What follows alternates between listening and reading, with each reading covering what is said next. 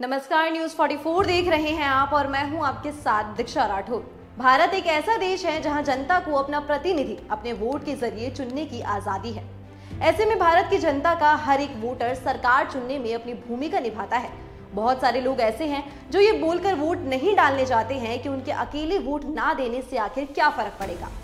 लेकिन आपको पता होना चाहिए कि एक वोट भी सरकार बनाने और गिराने के लिए काफ़ी होता है। जैसे कि 1999 में ही देख लो। 1999 में अटल बिहारी की सरकार में केवल एक वोट ना मिलने की वजह से ही सरकार गिर गई थी। उस समय सरकार और देश को एक वोट की कीमत समझ आई थी। लेकिन आज भी बहुत से ऐसे लोग हैं जो अपने बेहद कीमती वोट का इस्तेमाल नहीं करते हैं और वोट नहीं डालते हैं। वहीं कुछ ऐसे भी वोटर होते हैं जो अपने वोट अपने हक का इस्तेमाल करते हैं और अपने दिनचर्या से समय निकालकर वोटिंग बूथ पर घंटों लाइनों में लगकर वोट देने के लिए जाते हैं।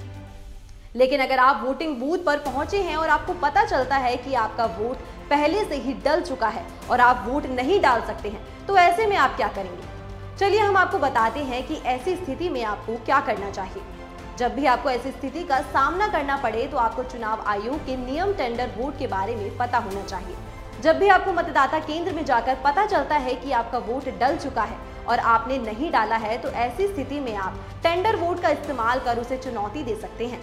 इसके लिए आपको मतदाता केंद्र पर उपस्थित पीठासीन अधिकारी से मामले की शिकायत करनी है, जिसके बाद पीठासीन अधिकारी आपके दस्तावेजों की पूरी जाँच करेगा। अगर आपका दावा सही मिलता है तो वो आपसे बैलेट पेपर के ज़रिए आपका टेंडर वोट डलवाएगा। लेकिन अगर आपका दावा गलत निकलता है तो फर्जीवाड़े के तौर पर आप पर पुलिस की कार्यवाही भी की जा सकती है। तो अगर आपके साथ कभी ऐसा होता है तो जाँच ज़रूर करें और मतदान ज़रूर करें। तो अभी के लिए केवल इतना ही ऐसी और अधिक जानकारियों के लिए जुड़े रहिए हमारे साथ सिर्फ़ न्यूज़ 44 पर।